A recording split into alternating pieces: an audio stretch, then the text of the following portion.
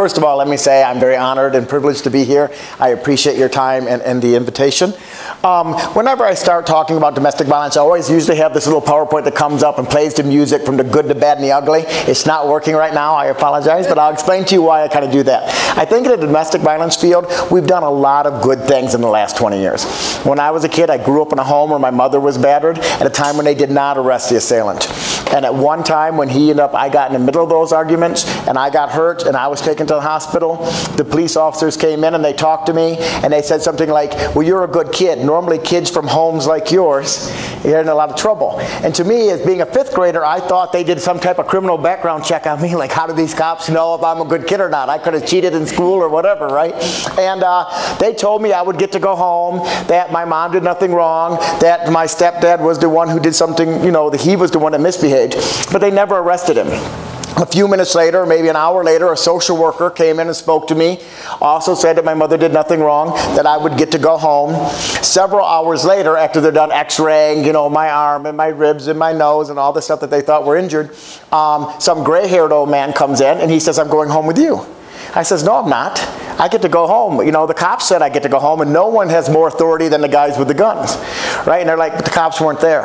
I said, the social worker said I got to go home. And they said, well, she's the one that called us. You're going home with us. So what did I learn about the system at fifth, in fifth grade? That you people lie, right? That the police lie, that social workers lie, that these nurses weren't there to protect me. My mom was gone, and I got ripped out to a totally different school.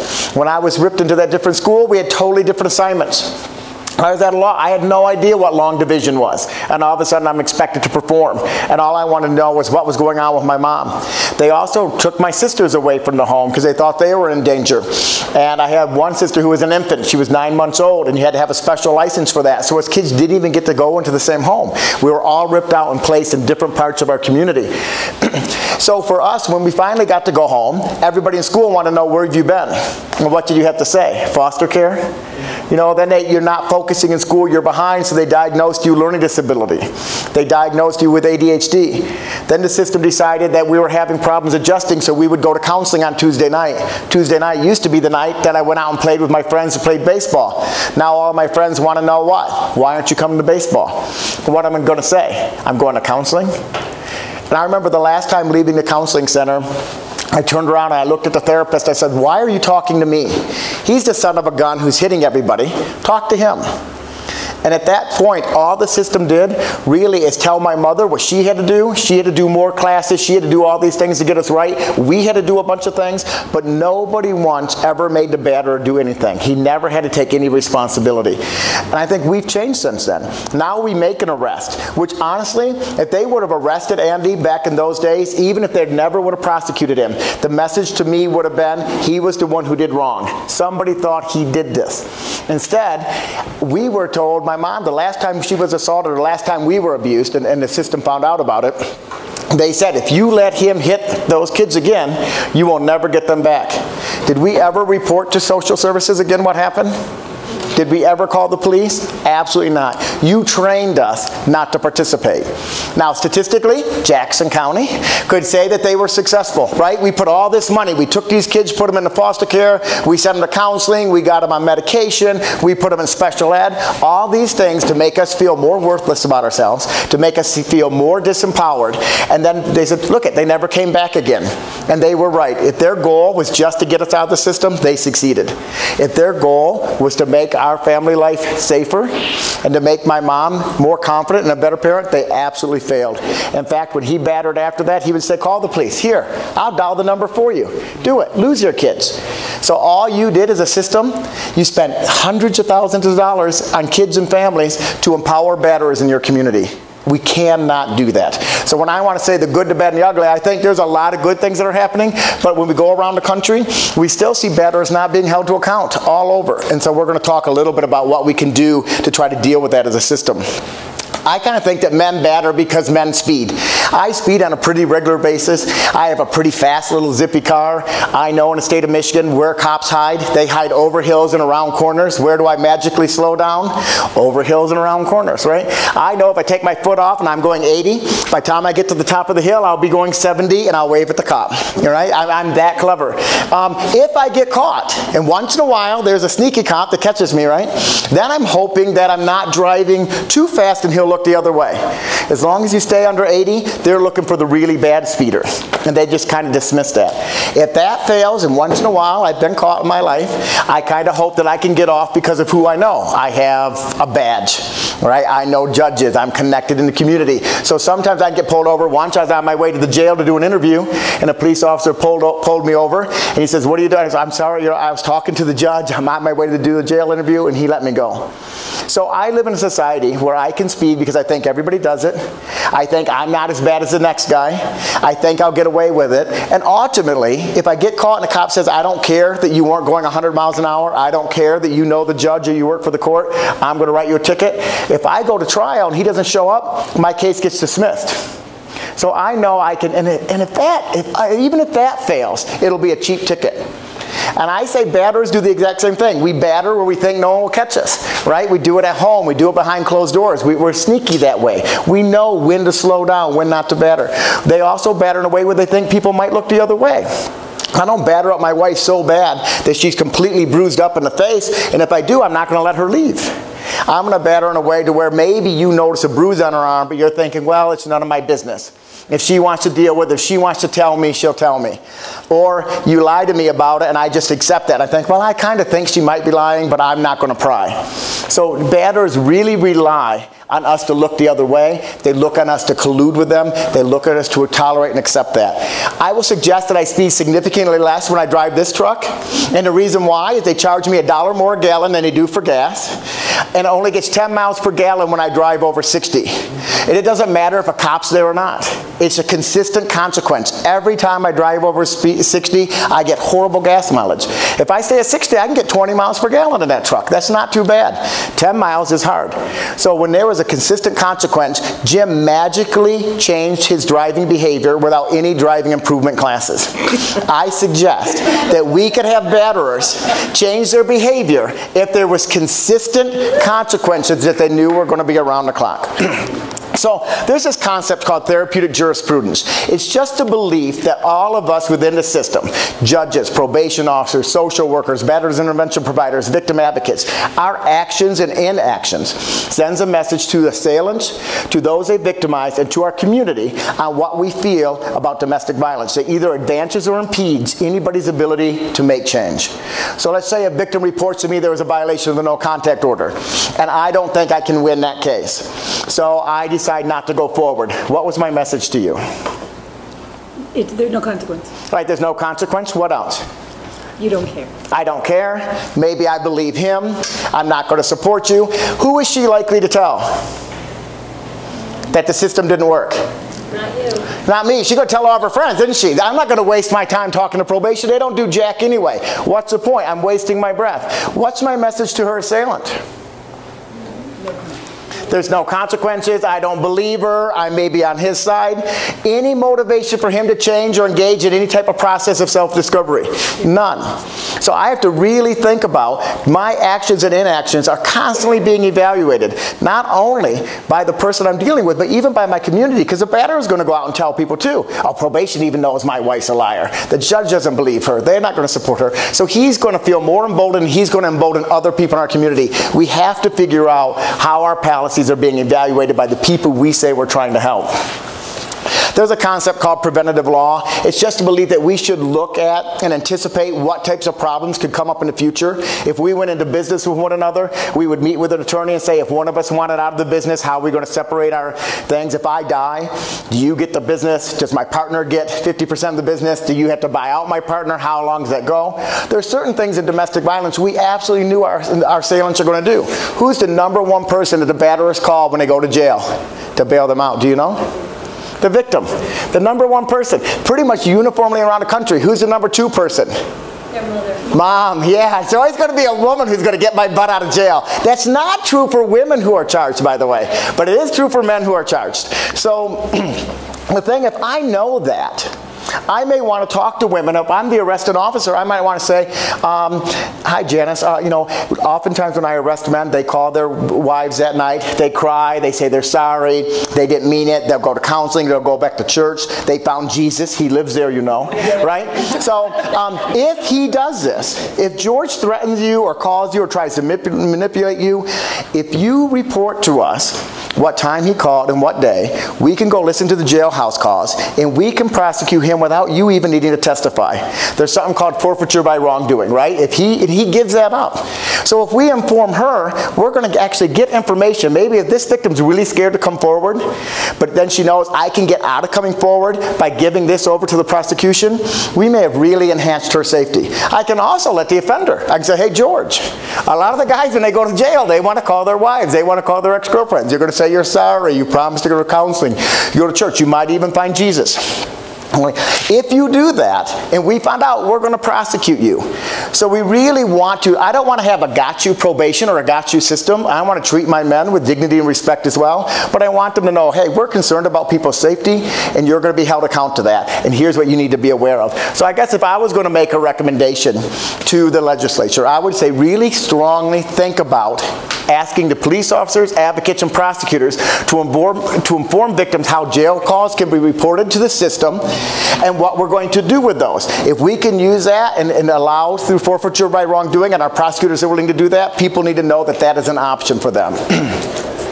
There's another concept called restorative justice. I kind of call it restorative practices because I'm not talking about healing circles and things like that. But I think to the best of my ability, I want to restore victims back to pre-assault phase. So I want to look at any damages that have happened to them because remember, I'm constantly concerned about the clinical message to my assailant and the clinical message to my victim and the clinical message to my community. So I give you an example. I had a victim who was really mad that she lost eight sick days from work. He, her partner had assaulted her, had screwed up her arm. She was a school bus driver. Ann Arbor parents don't like one-armed bus drivers, right? So now she had no more sick time. And if her kids got sick, who usually stays home with them? Mom, right? I mean, and that's what adults do. We don't use sick days for ourselves. We go to work sick as a dog. We use our sick days for our children. So she did not have that as an option anymore when I looked at trying to order him restitution, there was no restitution that could be owed because she got paid, right? She got the sick time, so I couldn't order money. But what did she really lose? She lost her sick days. Now, I was really lucky that this guy also worked for the same school district, and I asked, and I said, well, how many sick days does George have? And she goes, I don't know, he's never sick. So we checked with George's employer. George had 30 sick days in his bank. And his employer was willing to transfer eight sick days from his bank into her bank, therefore restoring her to predisposition phase. So we talked to George about his personal accountability, about the message and what he caused his partner to lose, to lose. And we got an agreement for him that he would do this. I got an agreement from the prosecutor. I got an agreement from the Batter's Intervention Program that this would send a message to him that he was responsible for the actions that he did. And I got support from victim services that this would actually support the victim's autonomy and right to self-determination and, and support her kind of personal recovery. So then when I make a recommendation to the judge, I can say, Your Honor, I know this is non-traditional. However, in this case, I had an opportunity to talk to so-and-so from Batter's Intervention, so-and-so from Victim Service. I had an opportunity to talk to the prosecutor. And even the offender agrees that this is a just result. So we need to start thinking about restitution differently. I have some victims who maybe he ripped her $8 blouse from Walmart that was four years old. And she goes, Jim, that blouse means nothing to me. It's not about the blouse. It's not about the money. It's about the message. I'm going to order my offender to pay $8 restitution for that blouse, and he's going to write a check to the court, and we're going to mail it to the victim.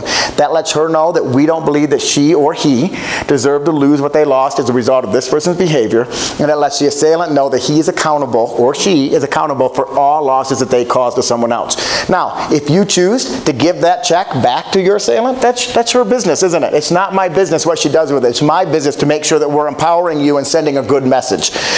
Um, policy number two, report, police reports then have to document all losses. We need to talk to people and figure out, as a result of this offense, what did you lose? Did he damage, did he destroy? If he broke a $2 figurine, I want that documented. We want people to start looking at that. And we want courts to really start pushing for restitution back on all these things, on all the cases, and thinking of restitution more than just medical restitution. And many times that's all we're really looking at. So, network of partners. I'm going to kind of whip through this really quick. You know, law enforcement for us, we're very lucky. I have great police officers. They write great police reports. They separate alleged victims from alleged perpetrators. They look at predominant aggressor. They do all the promising practices. Our prosecutor has a no drop clause. That's not true in some communities, right? Some communities, prosecutors are dropping things, are making plea bargains with people all the time, and we need to look at that and examine is that really in the best interest of our community. The defense bar, you know, we have to have a partnership with this person person. We want people's rights protected. If my assailant thinks that he's only found guilty because this is a woman's state and we just ship every man up the road, that gives him opportunities not to take responsibility either. I want him to know that his rights were protected, that somebody, you know, let, made sure that he had a voice, but he violated and broke the law and he is account to that. If I have the wrong person arrested, I absolutely want their rights protected, don't I? We don't want to supervise people on probation who weren't guilty. And so we want to make sure that our defense counsel is really well trained. Victim services, we got to have a better relationship with them. I'm going to kind of whip through here really quick because what I want to do is just say that if we work correctly, and we're sharing information with one another, we can create this wall of support for those who are victimized by violence, right? But we have to be willing to share information. If we're not sharing information with one another, we're not going to do that. And at the same time, I want to create a wall of accountability for that assailant. I want him to know everywhere he goes, we're sharing information when we've looked at homicides, what we found when we go back and talk to all the people who touched the case, there were people who knew that that victim would get killed. And somebody said, Well, how did you know? And they knew different information, but that information oftentimes was missed. And you know what happens? Me as a probation officer, I'm going to work with this family for a year to two years, maybe five years in some states. But you know what? If the police report, I'm not getting a copy of it, I don't know what happened that night. If I'm not getting the criminal record, I don't even know how dangerous of a guy that I have if I'm not getting the 911 tape. And you expect me to supervise this guy and create some type of change, and the only person who's giving me any information is him. And ladies and gentlemen, I'm here to tell you that most of my men do not tell me the full truth. All right? They're here to try to paint the picture in as well as a light as they can. And if you're not giving me information, then you get mad you're not seeing change. It's kind of our fault. You know, and for some of us, we're not even putting them on probation, right? We're only sending them to batter's intervention, and we don't get batter's intervention anything. And then we say, oh, your program doesn't work. Well, you know what? If you're trying to put me on a diet, and I'm too ashamed to tell you that I steal my little brother's Easter candy or Halloween candy right now, right? And that I break in and sneak my mom and dad's alcohol. You could put me on a restrictive diet and watch what I eat for dinner and watch what I eat for lunch, and I'm still going to keep gaining weight, aren't I? Unless you know exactly what's going on with me, and I deal with all those shameful things that I don't want to talk about, you're not going to have any workable intervention. So I really, really hope that as we're looking at this system, Every practice we do with the batter, I'm thinking about how does this affect the people that that individual is victimized. And that means not just the person who got assaulted, right? Because when I assault you, I also victimize your children who are in the home. If, if your sister and your brother live there too, I mean, I really impact a whole lot of people, and we need to look at how our practices are affecting that.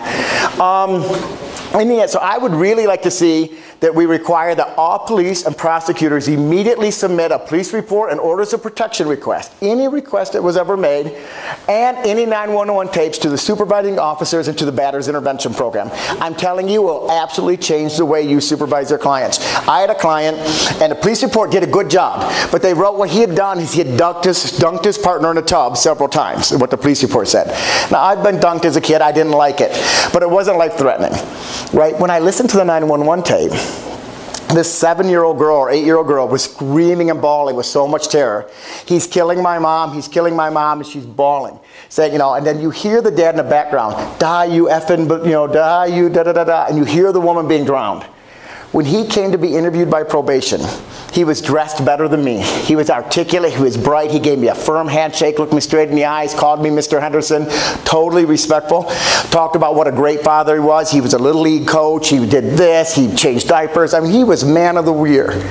And I asked him, I said, Well, you pled not guilty, is that right, Mr. George? He goes, Yeah, she cheated on me, she did it. I go, Okay, okay, I don't really want to know what she did right now, I just want to know you pled not guilty. And I go, I mean, I really am amazed at how well you talk about your children. I really appreciate that, and I wish more men were that engaged with their kids. How did it feel to listen to Melissa's 911, to listen to her call? Because they played it in court, right? And he goes, oh, she's an effing drama queen, just like her mother. She was in the kitchen, we were in the bathroom. She didn't even know what was going on. And I'm like, okay. Do I want him having unsupervised visitation? Do I want to look at parenting classes? I mean, there was a lot of stuff going on with the guy, but without that 911 tape, I did not know. He did not sound like Denzel Washington anymore. He sounded like the spawn of Satan, right? The victim who wasn't talking to us but listening to that 911 tape, I actually understood the absolute fear and terror that went in in the house. And I understood what that child was exposed to. That wasn't caught in a police report. So please think about how are we sharing this information and why aren't we sharing it? Why, that's just common sense. If you want me to do good jobs with this family, I have to have information on this family. Um, policy number four, require batter's interventions as require batter's intervention as a minimum um, an assessment on all cases that have a basis, uh, intimate partner violence, when we reduce to a lesser charge. So sometimes prosecutors are forced to let do a disorderly conduct or some other thing, right? The victim, you're in a lot of danger, you're scared to death of your partner, you're not going to testify, we're going to lose the case, so we plea bargain it down. Okay, I understand that. I understand the realities of our world. However, it makes absolutely zero sense if I'm going to take the most dangerous offenders, zero them down, and give them no intervention. You know what I mean? So we got to think that if it had a basis, if it was intimate partner violence, I would like to see all those people go to batter's intervention. If I can't do batter's intervention, at a minimum, I want them assessed by somebody who understands batters. I don't want them assessed by a family practitioner or the minister at the church, unless that family practitioner or minister of the church has an extensive training in domestic violence. But we really got to start looking at these families differently and saying, how are we going to help? Now, if the domestic violence was brother to brother, I don't need them in a domestic violence program because our domestic violence programs really look at a gender-based analysis right? We're looking at entitlement, we're looking at privilege, because I come from a much more affluent community. I have anesthesiologist, um, chief of psychiatry, um, you know, a lot of very well educated men on probation for domestic violence. These men function extremely well in their jobs. They bring me letters of recommendation from the deacon. I mean, I'll get piles of recommendations. I touch this? They'll bring me piles of recommendations about how good they are. I go, I'm sure you're a great plastic surgeon, Mr. George. That doesn't mean you're not battering your wife. I wasn't interviewing you for a deaconship. I appreciate all this, but let's talk about what happened in that home. So it's not about him losing anger. It's about him feeling he has a right to control and dominate his partner because we live in a society that tells men that they can do that. Some of us engage in a faith that may tell us that we can do that. Um, just like we live in a society that tells me that I get to dominate and control my children, right? I get to punish my children, I get to tell them what they, I, they do. Society ordains that. These men feel society has ordained them to tell their partners what they're going to do. And if they're going to enforce their law, and we got to have an, a, a way to address that with them and an intervention that actually looks at that entitlement and that privilege. Um, hey, that one worked. So. I say when we look at what we're really trying to do with domestic violence, I kind of say let's let's look at what our mission is going to be. In the old days, to court, my mission really was just offender accountability, and that's all I talked to. And I didn't even, we didn't even talk to victims. That was victim services job. That was somebody else's job. I suggest, and our system suggested, and in our room, we all sat down together, when we got to misdemeanor courts, police, probation, prosecutor, defense counsel, safe house, which is our non-governmental victim services, our batter's intervention, county and city administrators years, we sat down for two days and cussed and discussed, if you will, what is our real mission statement here? What are we trying to accomplish? And we said the number one objective had to be to maximize the safety of those victimized by violence. You know, if Johnny comes to court every time on time, pays his course and cost and fines, goes to batter's intervention every week, does all of his homework, and he's still terrorizing his family, we've accomplished nothing. So the number one thing, every policy and practice had to be measured against enhancing victim safety. Probation was not designed when domestic violence was a crime. Not a single one of our policies ever considered victim safety. That wasn't our job. So we got to relook at those policies, don't we? Um, second was ending community tolerance because we think men batter because they can. They batter because we let them get away with it. Because we look the other way, we slap them on the wrist, we send them to a hug a thug class, and we all go home and think we did something. We need to let them know, you know what? You are going to be held account if you use this types of behavior. We, you're allowed to be frustrated. You're allowed to be angry. You're allowed to file for divorce. You're not allowed to hit, intimidate, abuse, all these other things you're not going to get away with here anymore. And so, and once we do that, we think we'll see a huge reduction in domestic violence. Third was holding offenders accountable. So really looking at that paradigm shift and say, what is our job really? And that every practice has to be measured on that. so the number one thing is to maximize victim safety. we believe in order to do that, if I believe victim safety trumps offender accountability, I have to understand what victim safety is. I didn't know how to do that. Nobody did that in the court. So we went through the same 40-hour training that every victim advocate in our county has to go through to do it.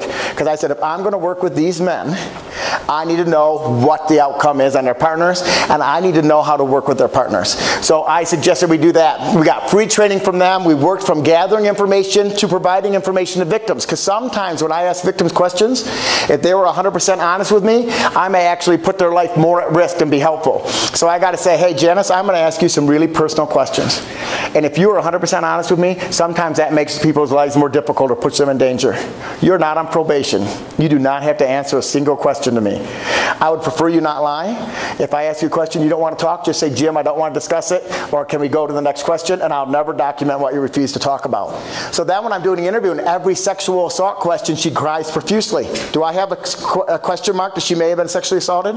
Absolutely. But now I can come back at the end and say, you know, Janice, when we talked about sexual abuse, you had a really difficult time.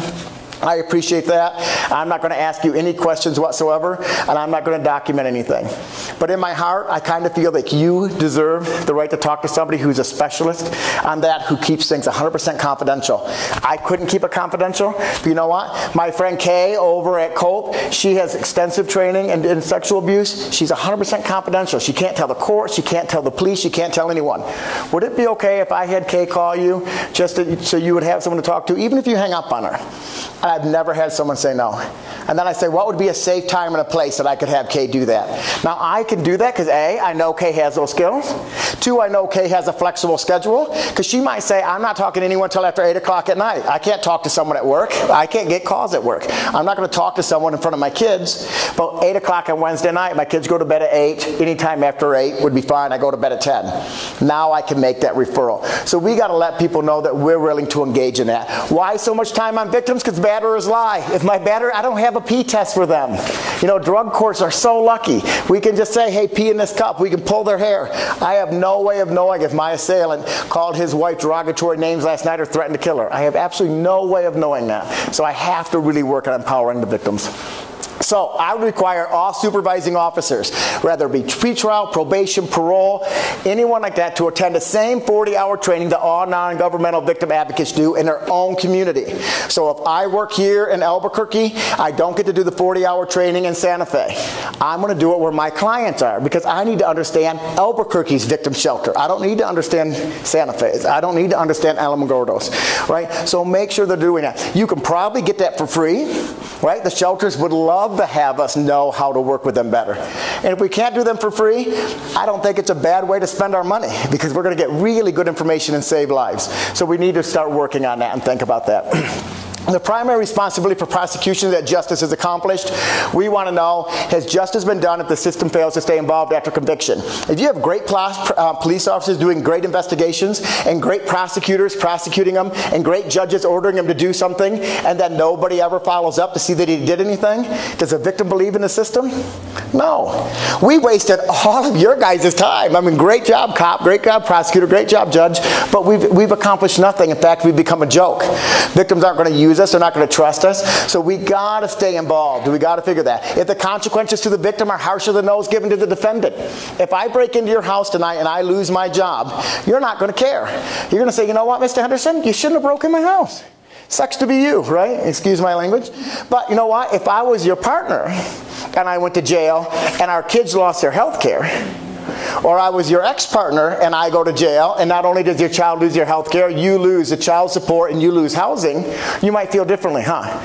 So we got to really look at this and talk about, I want to do this to hold George accountable, but in doing this, I put Teresa more at risk and maybe even make Lisa more dependent on George because when he gets out, that's the only way that she can get off the streets.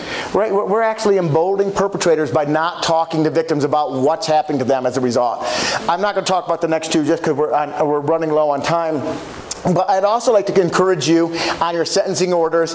We know that substance abuse relates to increased domestic violence. It doesn't cause it, right? There's a lot of alcoholics who don't beat their wives. You know, I mean, we, we know that. But we do know that when alcohol is in there, A, it changes my perception. I, I perceive other people's behavior as more aggressive towards me than, it's, than it is.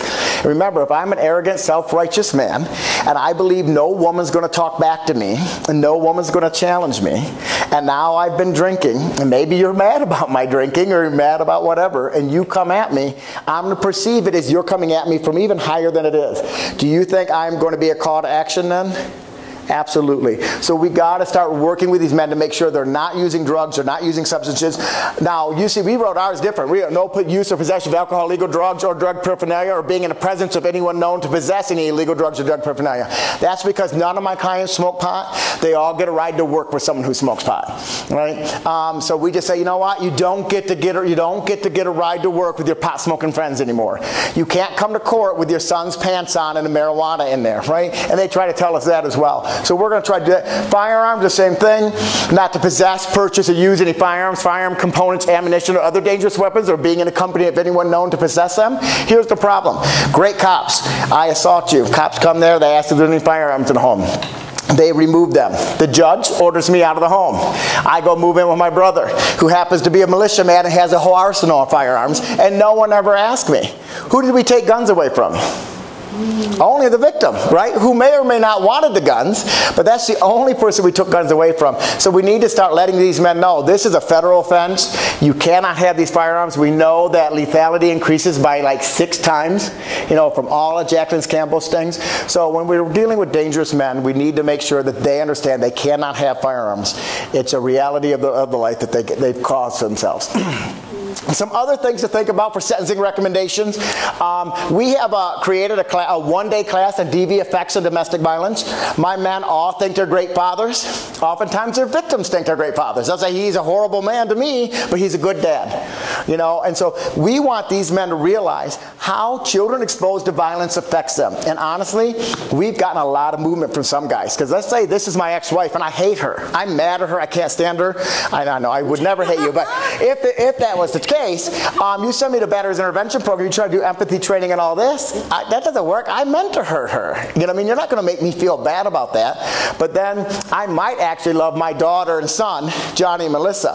And when you show me and look at developmental stages and what I'm doing to harm that, I got to come to terms with that. Maybe my love for Johnny and Melissa is higher than my hatred towards Patrick and uh, Patricia, and I got to I got to examine that. So we really want to look at, and we created that class. I would look at mandating all the clients to go to New Mexico Workforce Connection every Monday at 9 o'clock or 8 o'clock, whatever time they open, and make them turn in job applications that are not employed.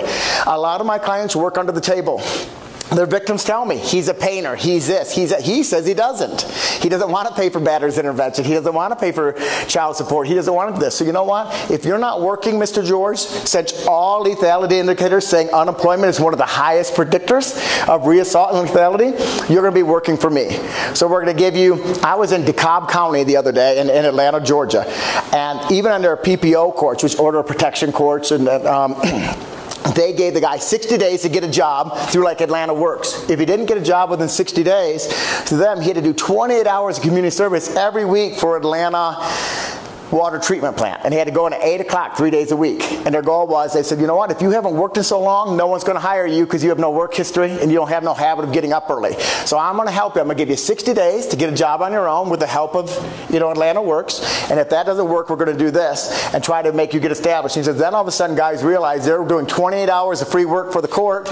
They can go ahead and get a job somewhere. And for me, when I required my clients to do this stuff, all of a sudden they come in the next week and they say, Mr. Henderson, I got a job. Oh, really? What are you doing? I'm painting. Oh, now the victim told me he'd been painting all along, but he just got a job. So we need to figure out. The other thing I would say, child support, spousal support. Make absolutely sure we're mandating this because men use economic abuse against their partners to get back into the home or to force her to come back to them. So we want to look at that. If uh, your client's in recovery and he's not working or she's not working, I would have them go AA daily. There's nothing wrong with daily AA. It's free. It keeps you off the streets, it keeps you busy, it helps you clear your head. When they get a job, they can go down to two times a week or three times a week or whatever you uh, uh, uh determined was appropriate. Same thing with batter's intervention. We do batter's intervention three times per week for men who are not employed. The reason why, if we say women are at the most risk when I'm not employed, when do I need the most supervision? When I'm not employed, don't I? Really, I mean, it makes sense. And think about it, we do every other thing we do. Substance abuse is not a magic number, go once a week for this one. We have outpatient, intensive outpatient, residential.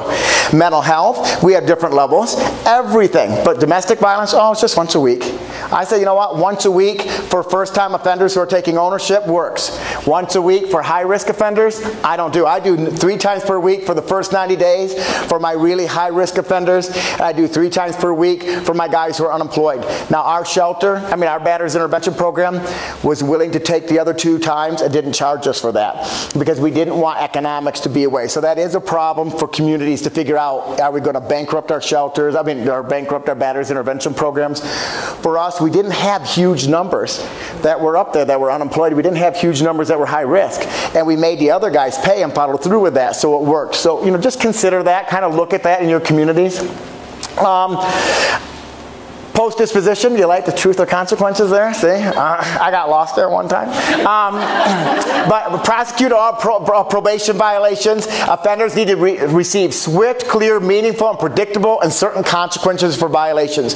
If they think they're going to get away with it, they're going to keep doing it. I think I'm going to get away with speeding, right? If they if they put these spikes in the road and had these cameras up there, and the minute it seen that I went 71, the spikes went up and my tires went flat, I would quit speeding, wouldn't I? But I know I'm going to get away with it. I count on that. These men do too. We have to create a system. We do a judicial review. 30 days into probation, you have your first review. Every skipped batter's intervention class, you have to do one day jail work program and make up that class. You get two weeks to make them up. For everything you didn't make up, you do two days jail. Once we started doing that, we had significantly less people skipping classes. Now we do judicial reviews every 90 days. If they're 100% compliant, I excuse them from court. But they have to do that work. And if they don't do that work, then they're going to have to account to the judge, and we're going to take care of it, and it's consistent. And that really needs to happen. Um, judicial review. So I'm kind of talking about that. They're only as effective as the information we give the judge. I got to let this judge know. Has he picked up any new crimes? Have I talked to the victim? Is he paying his child support? Is he, how's he doing in batter's intervention? Is he paying for the class? Is he engaged? Is he working on it? Um, so we know we want to make sure that probation's giving judges the right information. If you have a court that doesn't have probation and you can't afford compliance, I would still suggest judges could do compliance uh, uh, reviews. And I actually probably think they should do it more so because they have no one watching that assailant. So, you know, and let's say if we don't want to do it at first, get prosecutors to say at least you're high risk cases. Let's bring those back before the judge every 30 days, every 90 days, every, you know, four months, whatever you decide can work in your court. And I have to bring in a report court, right? So if I'm in batter's intervention, make me come to the court, bring proof that I'm going to the class, proof that I'm paying my child support, proof that I'm doing this. But we need to let these men know they're being watched by someone. And if we don't have probation and parole and those people, let's have it be the judge or the prosecutor or whoever we need to do. Um, so I would like to see more mandated designated dockets. Designated dockets cost zero money. So if you don't have any grants, we just say, you know what? Normally all of you guys are here for a misdemeanor criminal offense. Some of you are shoplifters, some of you are drunk drivers, some of you are domestic violence. We're going to say instead of doing from 8 till 2, dealing with all your cases, from 8 to 11, we're going to do all the DVs together. What that does, it gives me time to really be focused on DV, to be victim-centered. Victim services can send a victim advocate there and only spend that part part of the day instead of being there all day or three days in a row, right? So we save resources for the advocates who never have enough funding. We save resources that have a designated prosecutor possibly that's committed to domestic violence and understands. We can have designated defense bar there who understands domestic violence, right? We want defense bar to know what they're doing. If you're if you didn't commit a crime, you used resistance violence against me because I've been battering you for 10 years and the cops felt they had to arrest you, you want your rights protected, don't you? You don't you want justice achieved. So we want to figure out how we can do that. It doesn't cost us any money. Right? And then we can just do our reviews right after that and they don't have to take a lot of time. If the guys are doing things they're supposed to do, we'll move on. All right, this is how I do batterers intervention. I don't have the perfect, I had a perfect court when I worked in Ann Arbor for my judge there. They were really good judges. We had great prosecutors. You know, our batter's intervention program really worked hard with us. In Detroit, sometimes we have good judges, sometimes we don't. It's a really big system. Sometimes we have, you know, educated probation officers, sometimes we don't. Oftentimes our clients are not ordered to do, to not do drugs. So I make a requirement in my batter's intervention, you have to do random drug testing. And I think probation should know if you're doing meth on a regular basis. If you're coming to class high on cocaine, I want them to know that, so I report it back. I also require that if you're required to do any other thing, you have to bring me proof every week. So he brings me his proof of AA, he brings in his proof of substance abuse treatment. So that way, what I'm trying to do, go back to that circle, that wall of accountability, I want him to know that I, I believe in wraparound services. You know, Mr. George, I'm concerned about your battering, but I'm also concerned about your sobriety. If he's in mental health counseling, supposed to be doing medication for his schizophrenia or bipolar disease, or is he doing that? And I'm going to watch this stuff, especially if he's not being supervised by an intensive probation department that has the time to look at that, I'm going to do that. It takes me 30 seconds per client. You come in, you sign in, you do this, you show me your A slip, you show me your batter, you know, your treatment slip, you show me your substance, your uh, mental health slip. That takes very little time to save someone's life, to make an impact. And because I'm friends with the people in our community, the substance abuse agencies are doing the same thing. I, I, sign a sheet for them every week. They take their substance abuse agency. So now he's being watched by a probation officer. He's being watched weekly by me. He's being watched weekly by a substance abuse agency. If he's in mental health, he might be being watched weekly by them. Think about that collaboration there and the message to him that we're all kind of creating this circle. So, wraparound intervention, multiple people watching the better, able to identify noncompliance immediately. Let's say this week he, he tested positive for cocaine, I mean, marijuana. He forgot to bring in his proof of AA. Doesn't mean he's not going, but he didn't bring it to me. And he forgot to bring in his proof of substance abuse. I send that notice to the probation right away. Probation could get on on the phone, call the substance abuse agency. Is he coming? Is he doing this? We can let the victim know he's relapsed. Some victims are really concerned about that, aren't they? If he's using, she knows that's a danger thing. Yeah. Now, some probation says we can't tell her. You know, it's confidential. His drug testing. You know what? Once you file a violation, it's no longer confidential. So I file a violation immediately, alleging that he tested positive for marijuana on this day and he didn't go to substance abuse. Now I can tell the victim, I can call and say, hey, uh, you know, uh, your husband, uh, I, I, filed a violation against your husband for allegedly testing positive for this, allegedly not going to class, allegedly not doing that. She can create a different safety plan, can't she? So we really want to think about how we're doing that. so, require all batterers intervention providers to document other interventions and report it weekly to the court or to the probation agent. It doesn't take them that long to do that. I would also, if we're funding any, if we're funding substance abuse or we're funding mental health, we may want to figure out, can we get them on board too? Can we make this not just BIP doing this work? Can we have the whole community showing a message that domestic violence is serious and we're concerned about it? Um, I would require batters intervention programs to have a working me memorandum, uh, MOU, I'm not going to say the word, but you know what I'm talking about, right? And uh, a relationship with victim services. Because batters intervention needs to know that if our policies and practices are putting victims at risk. And not always will victims be able to come and tell us that. So I like to have an open door policy that bat any victim service agency provider can come watch my batters intervention group without forewarning. You just show up. Because if I made you come tell me ahead of time, I could change my plan couldn't I? Ooh, I know they'll like me to do this topic. You know, no, I want to have you walk in, you sign a release saying you won't talk about what the clients are there, but you're really there to evaluate me. Is my program worthy? I also have an open door policy for probation and parole. They can come in anytime. You know what? If I used a coercive power of the court to mandate that my client go to a batter's intervention program, I have a moral and ethical obligation to know that that program's not going to put victims and children at risk.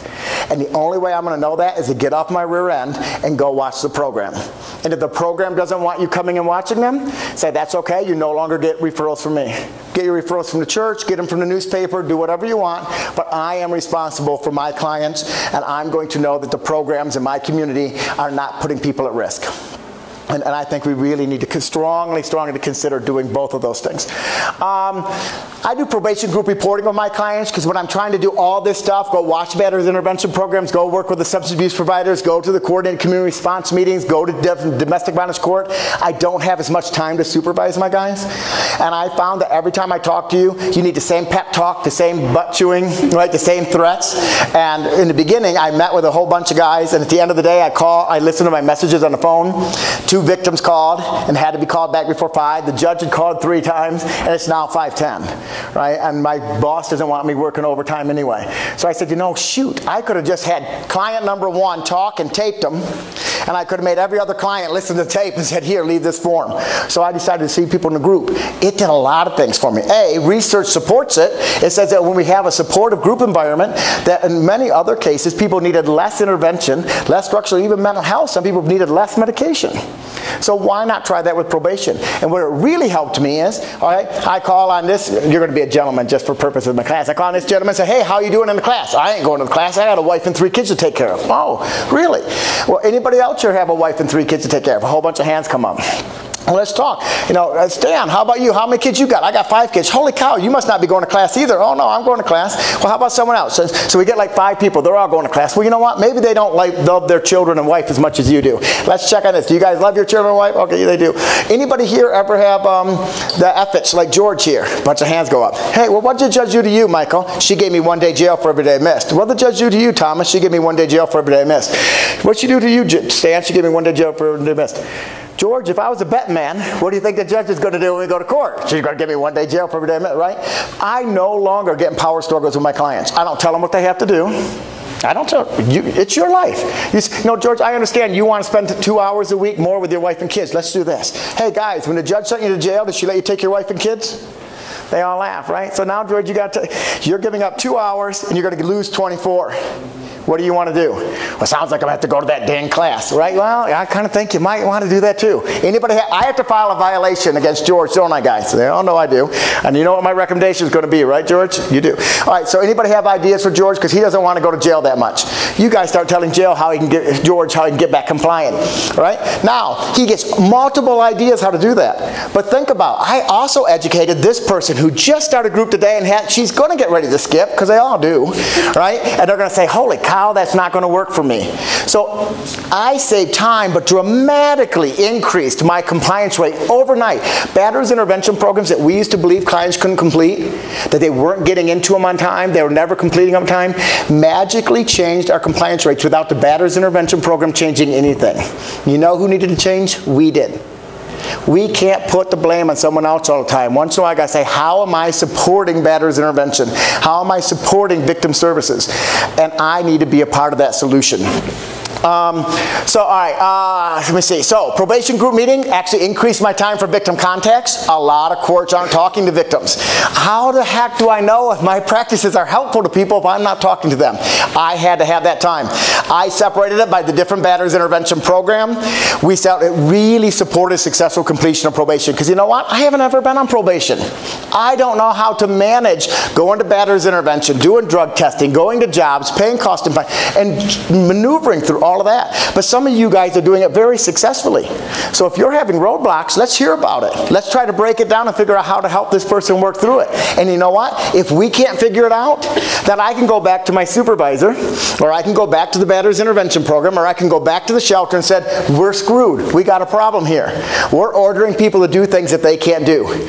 We have a broke system. What are we going to do to fix it? Before, we would just blamed it on that person and thrown them in jail, wouldn't we?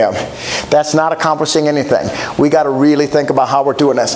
Um, they start to address legitimate concerns, and they really can learn from other clients. I mean, it's amazing, and some of my guys have never really been successful before, right? They're not always the most powerful guys. These are guys that feel that they've been beaten down and kicked around too. And so when I get a guy who managed to finish his GED, has been sober now for a year, who's on, you know, session 50 of the Batter's Intervention Program, almost done, and I'm like, you know, George, I'm just amazed at all the stuff that you've accomplished as you've been here. Can you help Michael understand, you know, how did you do that? You know, and George gets to feel good about what he's accomplished and what he's done. And He's able, and then Michael can realize, you know what? If toothless, homeless George got all of his act together and was able to do it, you're going to be able to do it too, Stan, and we're going to help you do that. So it really has been helpful to us. Um, the old way, I could see maximum a day, 14 clients, right? And no time for even a smoke break, right? I mean, I was just working client, client to client. I don't smoke, but bathroom break or whatever. The new way, I could easily see 60 clients with time to spare. And I would challenge that I had better relationships with my clients, that my clients understood the consequences of their actions and what type of uh, sanctions would be imposed in court, um, than all of my probation, fellow probation officers who are busting their rear ends trying to meet all these clients individually. And they're, they're having huge compliance issues. When I go to court and you go to jail for those five days that you skip class, you don't even fight it because it's just kind of like you knew all along that that was going to happen and I'm able to tell the judge all the things we did to support you not having that happen. So it's just so much easier, and people feel that they were dealt with with respect and dignity, not screwed over. And I don't want my clients to feel that I'm just beating them up. That's not my goal. My goal is saying, I'm here to support you, but you are going to be held to account. And we're going to do whatever we can, but you know, in the end, it's up to you, and I'll support you going to jail if that's what you want to do. All right, so some other creative sanctions we could look at. Um, I would say have some sanction for even minor violations. We, we talk about graduated sanctions all the time. Sanctions don't have to be, sometimes we wait and I let you screw up, screw up, screw up, screw up, now I'm mad and I throw you in jail. it doesn't help you and it doesn't help the victim. If I can catch you much more quicker, it might be, I might end up just having you go to court and sit in the back of the courtroom for two hours while I'm there, right? I might have the judge bring you up and have you sit there while he contemplates what he's going to do. We might have you do extra batter's intervention programs and do more drug testing or whatever, but there needs to be violations when guys don't do things. My guys forget to bring in their A sheet. They're like, well, I'm just going to bring it in tomorrow. No, I don't change my schedule because you forgot something. Now you're going to have to come into court on Wednesday from 9 to 11 bring it then, and I'll come get it for you. Now, next time he's going to think, I had to give up two hours because of this. You know, so I would say jail availability to be straight over, be, despite overcrowding, we had to really work on that for a while. All of our domestic violence guys always became trustees easiest, and they were always being released. And we tried to say, can we release the non-violent offenders first? You know, let's save our jail for the guys we're scared of, not the guys who made us angry. And sometimes those are the guys who are in jail, the guys who made us angry. We need to really rethink that. Um, we created a batter's intervention program in jail. Now, part of that was because we thought about, okay, our most scariest guys, the ones we're most scared of, we throw in jail and give nothing to. And our low risk guys, we send all sorts of intervention. It just seemed kind of foolish, didn't it?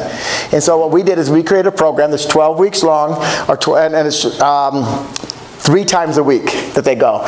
We check maybe it's 12 sessions um, in like six weeks. Um, but it's, it's, like three times a week, I know that, for a certain period of time. And we don't call it batter's intervention, we call it batter's intervention preparation program. You know, like if you go into college and you're not real good at math, you got to take a college prep class in math, or you got to do a college prep class in English before you can get into the real school. That's kind of what we're doing. You know what, George? You got a little bit more work to do than Thomas here. We're going to send you to a prep class, and we're going to make it free, and we're going to make sure you have tr easy transportation there. Um, now, sometimes if he does really good in that class, we'll release him out to the regular batter's intervention program. Now we had the regular batter's intervention doing it. We paid them to come in and do the class for us. The benefit to that was when I let George out and George starts decompensating or doing bad, the batter's intervention program, they know George. They're like, he's not the same guy he was in jail. Something's up. So it really kind of helped make that happen. We also created a batter's intervention at our homeless shelter, and I'll tell you why. A lot of people who are victimized at the shelter don't trust us as a system, right? If you assaulted me, beat me up, and stole my crack, and I was really mad, and I called the police officers, I told them that, are they going to be too sympathetic towards me? No. First, I'm homeless, I might have a mental illness, so there's those issues that we had to deal with. The fact that crack was involved, they're going to dismiss things, I may not be a real reliable witness. So they don't really trust the system, yet this population was constantly being violated. You know, we know that people that hang out at shelters, sometimes we get some real predatorial behavior, don't we?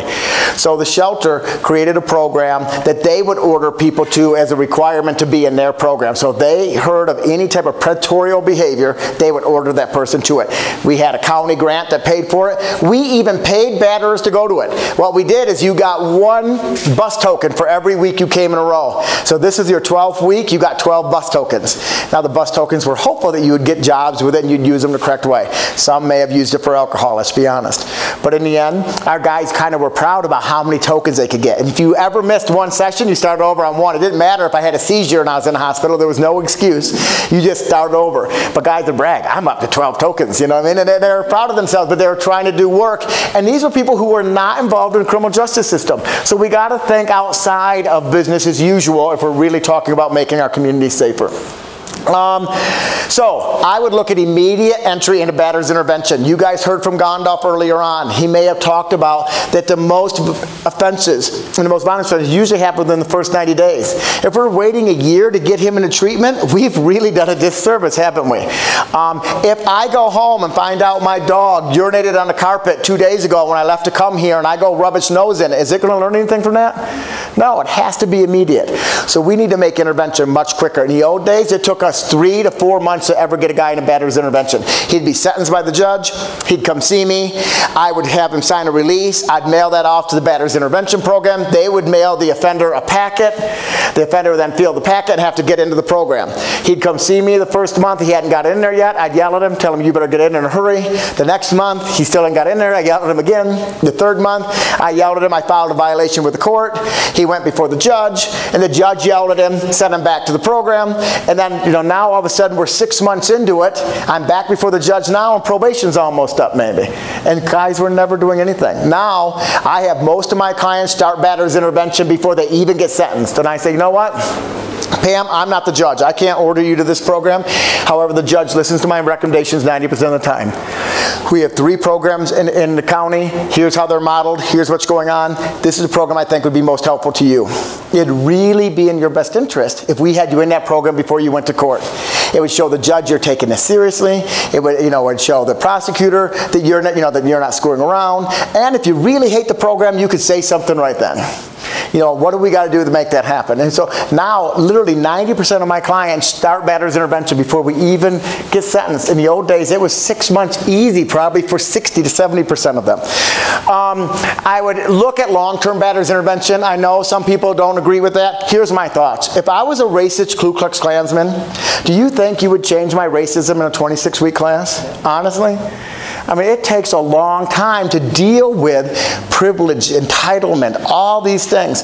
These men have grown up in a society that supported their belief that they're entitled to this, they're privileged to this. We're not going to fix that in a 26 week class. They might learn to talk to talk.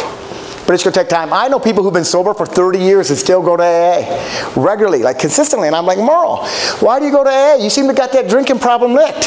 He says, Jimmy, it's not a drinking problem, it's a thinking problem. I live in a society that makes it way too easy for me to go back and drink and do and live the lifestyle I lived before. I need to be reminded. I need to see new people struggling with it. I need to remember where I came from, and I got, need to stay focused on where I'm going. And I think a lot of batters need longer term. I honestly kind of think 20 years from now, that batter's intervention programs will be more lifelong, that there will be more support like that. Um, I'd like to look at two to three times per week for higher risk clients. I'd like you to at least talk about that. Restitution, remember, it's not just about money. What did that victim lose as a result of their behavior? Let's figure out a way to hold that person more accountable. You know, attend court weekly, look at other graduated sanctions If possible, I'd like to see more designated probation officers, more designated prosecutors if you have that option. If you can't afford probation officers, sometimes you do designated compliance officers or even in civil court for orders of protection, we're seeing compliance officers being used. Um, I would look at how probation is linked to batterers intervention and victim services. You absolutely have to send your supervising agencies to training with victim services. I have to know how, how my behavior affects them. Home visits, if possible. We get to take the drug dog. So once in a while, I take the drug dog like once a year, and I find out who has drugs in their house. It's amazing the amount of people who are using who I think aren't. And we bring them in the first time, I bring them here to the group reporting. None of you are using, praise God, right? You all told me you're all clean and sober. We bring Lassie in, and two of you have pot on you, right? And um, so I had one client, I came and I did this training, I came back like three years later or two years later, and he said they wouldn't let him use a drug dog. So uh, he was a, a, sex offender supervisor, so he said he took his own dog and told his clients it was a porn sniffing dog, and two clients turned over their porn. I, I have no idea what porn smells like, but it worked for them. Um, judicial reviews, really strongly look at those. The National Council of Juvenile and Family Court judges supports it, the Prosecuting Association support it. Really look at that, have your judge and your system consider that. Remember, accountability really starts at the beginning, but it has to be a systems perspective. If I have really good fencing around my cattle farm and there's a big hole in the back of it, do you think my cattle are going to stay in? No, they're going to get out. We have to figure out where our holes are, where are our clients escaping, and where are our victims falling through, and what do we do to patch up those holes, and how do we work to support one another. Okay, with that, probation working smarter, not harder, while being fiscally responsible. I um, appreciate your time very, very much, and um, if you have any questions, I'm very open to hearing them, and thank you. Any questions? So hold on. Yeah, go ahead. Do you coordinate with the family court? Do I coordinate with the family court? In my probation department, we didn't in the sense of like divorce court and orders of protection. We ran, um, so I did a, LEIN check on you. I had to do a criminal background check. So I would know that you're going through divorce and I actually talk with the victim so I know what's going on there. We get, when I submit my order to the judge, I give her the current police report, the current order of protection, any prior police reports have been written on the, the assailant, and any prior orders of protection, even if they weren't by you. So I say, I'm this is the first time he assaulted you, but he's had two other prior orders of protection against him and three other police reports written against him. The judge is going to get all of that because we're trying to look at it contextually, right? Our criminal justice system looks at it from a system. Court can get what you guys are. We're going to share that with them. Thank you. Um, we're going to share that information with them, and our judge is going to try because we really don't like like I say you can't have visitation. This judge says you can't have visitation, Right. so we try to share that information. We're from a small enough community, and my judge is, has a good enough relationship, so she can reach out. Some courts are doing unified courts now, where they're having one judge deal with all of those cases. You know, I know in New York that's really big, and some other states are doing that. Because that, uh, that, and then there's also the children's court issues, because then. Right, well, that's what they do the same thing. kids- If you look at the New York model, that's what they do with their integrated court, because then they'll have like the, the attorney for the child, right, the guardian ad litem, and all those people are at everything. So we're talking about the order of protection, we're talking about probation, we're talking about child custody, and they're doing all of that. Perfect. We don't do that in Ann Arbor, but I know they're doing that around the country.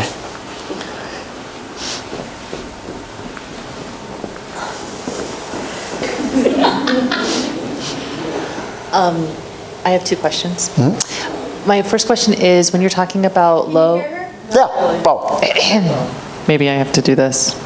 Is that, okay. When you're talking about low and high risk um, categories, how, what are you, what assessment are you using Well, to, to think about people that way? Okay, so some people use like Jacquelyn Campbell's assessment thing, but now Jacquelyn Campbell's assessment thing was really meant for victims, right? And it really wasn't supposed to always come to the probation department. I still do that with victims, but I let her absolutely know that this information is discoverable. Everything I have, I'm the eyes and ears of the court. So anything she tells me, he gets access to. Now, some people say they never talk to the victim about that. I said, you know what? No. She gets to make her own choices. Don't silence victims because we know what's best for them. That's ridiculous. You know what? Let her know what's going to be used with the information. Let her know how it can be helpful and harmful, and let her make her own choices. That's what we're talking about. We're talking about empowering people. Other types of measurements, some people use the LSR, some people are using the ODARA and have really good success with that. Jacquelyn Campbell wants corrections to use the ODARA more because if they're not really trained in how to work with victims, I may forget to tell you that I'm going to share it and then put you at risk. If I do that one time, it, that's all it takes, right? So we got to be really careful in that we know that if we're going to start sharing that information, how well trained are the staff? Are they really well trained or are we just saying they're well trained? Are they committed? So if you just go to the ODARA, you don't need to talk to the victim. It all comes from his prior history, his stuff. I do more of a biopsychosocial because I really try to look at it contextually and look at a variety of things. And I think the ways that we ask questions I can, I rarely have an isolated first time offense. Even when clients come in and swear to me on a stack of Bibles, it's an isolated first time offense, and the victim does. But the way that I ask the questions makes it uh, more comfortable for people to disclose that, we can talk about that training too, but it'd take too long. But if you call me, I'd love to go over it with you. So the other thing is I'm a little ignorant to the structure of probation and parole state to state and maybe even in our own. So I'm wondering what level you're recommending making these policy changes at. Is this something that would happen locally or is there a level that we can reach that would allow it to trickle down? It, moving, I, yeah. I do not know. I will tell you that every state's different. Like in the state of Michigan, circuit court, which is felonies, are all state employees. District court are all county employees. And in 1979, they even passed an ordinance that a city could have their own. So I worked for a city court for the city of Ann Arbor. And then when you heard the thing, it said I worked for Washtenaw County. I jumped over and worked at the trial court for the county for a minute. Um, and so then that's, and some courts don't even have probation. I was in Alamogordo and I think they have a nonprofit agency that runs their probation. So that's not even, I thought they were non, are they for profit? No. But they're not the court, they're the substance, they were like drunk driving thing. Employees. They're county employees now, okay. Yeah, DWI, all right. Magistrate court compliance. Okay, so I, I think I don't. I, I think we have to kind of look at that and, and look at what the state can legislate, and then what communities need to look at. Um, you recommend uh, parenting classes, you were saying. Uh, I know the majority of our clients, they are with the victims. So I wondered, what about coupling, couples counseling? Okay, well, I, I wouldn't do couples counseling, and, and, the reason why, couples counseling, they say we're supposed to be on the same ground, and there actually has been some incidents, and I even had a client who assaulted his wife at marriage counseling because she dared to say stuff that she would never say anywhere else, and he wanted to let her know that. It was the marriage counselor was the one who called the police, which is, that's very rare, but it just happens once, it's too much. So we prefer to see men deal with their battering over here, and if victims need to do their own work, they do it over here here at the end.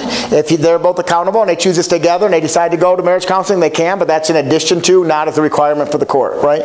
For the parenting classes, we never order victims to do anything. I don't, right? My judge wouldn't. But if they choose to go to the parenting class with him, we can't stop that. I mean, that's the parenting class is done outside of the court. We have lots of free classes in our state, and we went and worked with them because they had they called it anger management, did stuff. So we really educated the people who were doing the parenting classes on domestic violence and the dynamics before they started working with our family. So they realized you need to know who might be coming in your door. And really, from some of my guys, we had parenting on your own, which before I didn't. Right? You took care of a lot of that stuff, and we know that some women will stay with their batters because they want to protect their child. If you know I'm going to get visitation with them, I'm going to get him on weekends and I'm going to have him, you might be way too scared for that to happen, so you stay with me. So we had to kind of create some skills. And for some of these men, they all think they're good guys. They'll say this, well, spare the rod, spoil the child. I turned out okay. I go, look where you're at. You know, you maybe you didn't turn out okay. You're here to domestic violence class. Let's look at that and let's figure out how to make it where our kids don't end up here. So um, I, I wouldn't do the marriage counseling. I would say that if families choose to go to parenting classes together, they can make that choice, but I would talk to victims about the pros and cons of that, and I'd make sure that victim services knew that too. I just wanted to touch base on your question about probation and parole New Mexico. So a lot of the domestic violence cases are through magistrate court. They're misdemeanor offenses. So, you know, when we are just kind of going over our presentation, because I work for felony probation and parole. So with the felony, our officers go to the field. So we're doing home checks, we're in the field, um, you know, so that it's, it's just a lot more, it's not just an office visit. Um, we're gonna look at that whole spectrum. So exactly what Jim was talking about, we do. So I think when we're talking about the level at what it sounds like, like through a BIP program, what a lot of, I think, probationers that are on magistrate court, I know that their system is totally different. The officers don't go to the field. Okay, so they're not in the field, to my knowledge. They're not, they don't go into the field for misdemeanor court. So maybe we need to discuss something like that. The other thing too is I've never heard of a specific domestic violence unit through magistrate court. So basically you're gonna have your you know, domestic violence cases, any other misdemeanor offenses, and your DWI cases. So that officer has a total mixture of all sorts of different cases, which you have to supervise differently as well. So I think as a recommendation, you know, a specific uh, domestic violence unit at that level would be great, where you can mandate a certain amount of compliance. So even if it's at the magistrate level, you have those officers going in the field. Um, They're expected to do that. Um, It's through policy, and they're mandated to do that. So does anybody know, sorry, again, like, so is there a statewide structure over But I, magistrate thi- I think they want you taped, don't you? Uh, You can hear? Is Oh, there a statewide structure over magistrate courts, or is each magistrate Well, court? so it's, so magistrate court is, you know, your, so it's, it's gonna be through your counties, and then you have your magistrate judges that oversee that, you know? So like, for felony probation and parole, you have your district judges, and we're all state employees. So every felony probation and parole officer, we're probation and parole, because we deal with state parolees and state probationers, okay? So we oversee that process. With magistrate, it's usually through your county. So it, it's separate. So that could look very different. What they do in Alamogordo could be very different than what they do in Albuquerque. So there's no uniformed kind of process there. Um, so in Albuquerque, they may be doing it right. They may have a lot more resources to use. But in some of your smaller towns, it may be a little different as well. So. And sometimes having a unit is impossible. Like we did in the beginning, we didn't have a unit, but we had the judge just decided one agent was going to do all DV, and so I was that agent. So I, I, was unit. You know what I mean? But I, I, but before I had drunk driving, homeless, urinating in public, all those people on probation. I mean, I was at a misdemeanor court.